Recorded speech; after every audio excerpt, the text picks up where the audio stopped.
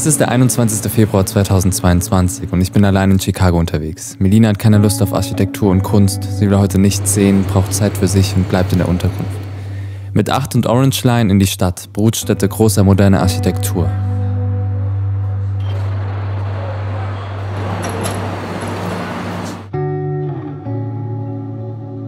Hier gibt es endlich Widerstand, Gegensätze, neu und alt, verspielt und geradlinig, erinnert an Fritz Langs Metropolis. Hier schaue ich, bin offen, fahre nicht durch amerikanische Kitsch-Fassadenstädte, sondern durch eine Metropole, die sich den Titel schon früh erkämpft hat.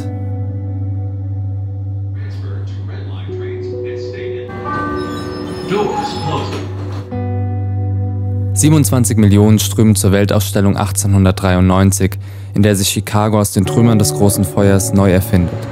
Die Stadt zeigt, sie protzt und setzt gerade in Sachen Illumination einen neuen Standard. Die Welt staunt, bevor sechs Jahre später der Eiffelturm die Ausstellung in Paris prägen sollte.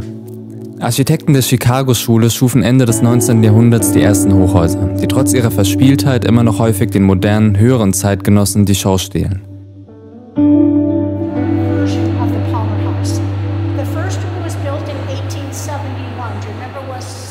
1871.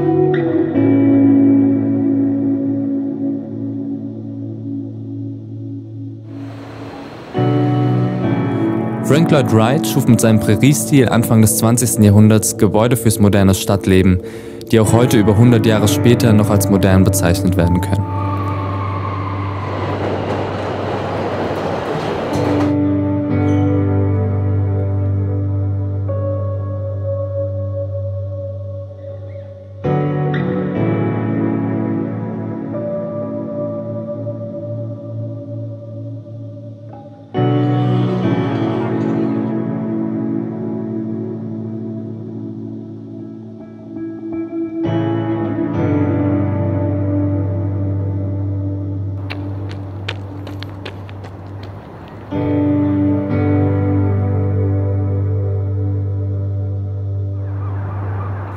Ich besuche das Chicago Institute of Art, sitze im Untergeschoss zwischen Fotografien und Restrooms und schreibe. Heute nehme ich mir Zeit für Orte, entschleunige, schaue, nehme auf und verarbeite. Harold Eugene Edgerton begann 1932 Milchtropfen zu fotografieren und mit Blitzlicht zu experimentieren. Es brauchte 20 Jahre, um dieses Foto zu machen. Milk Drop Coronet. Das ist eine japanische Gottheit, symbolisiert die Kraft der Weisheit, die wiederum Ignoranz penetriert und das Böse zerstört.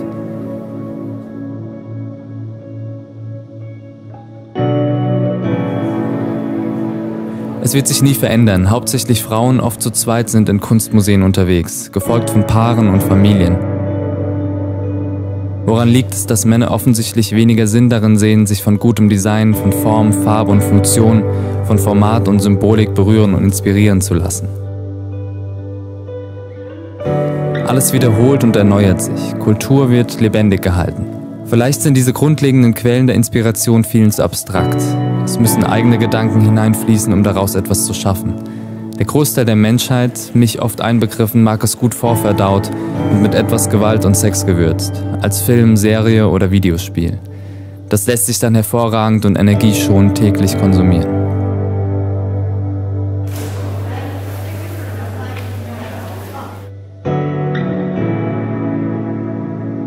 Odalisk ist so realistisch, dass der Autofokus meiner Kamera Vorder- und Hintergrund unterscheidet. Ihr Blick in Resting ist so tiefgehend, dass man ihre Situation nachfühlen kann.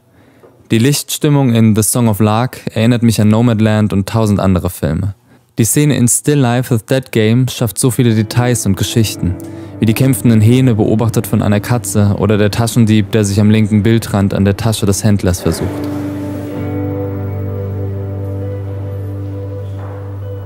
Mir läuft die Zeit davon. Die eingeplanten zweieinhalb Stunden reichen nicht aus, um alles zu sehen.